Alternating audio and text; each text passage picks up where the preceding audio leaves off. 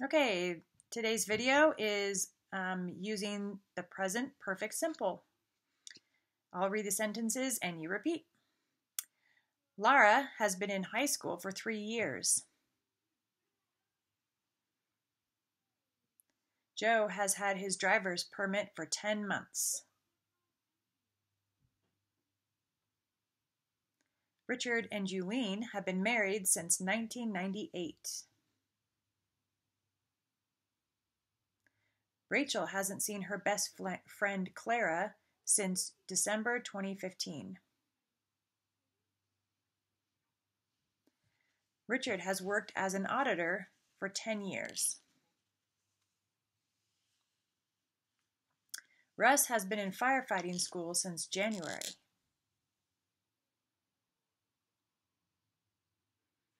They haven't had work since the pandemic started.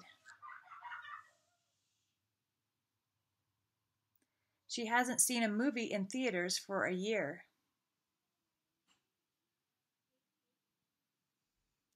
I've walked 20 minutes a day for the last two months.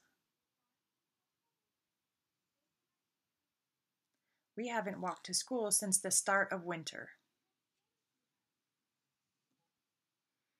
Okay, so go ahead and listen again and repeat as many times as you can.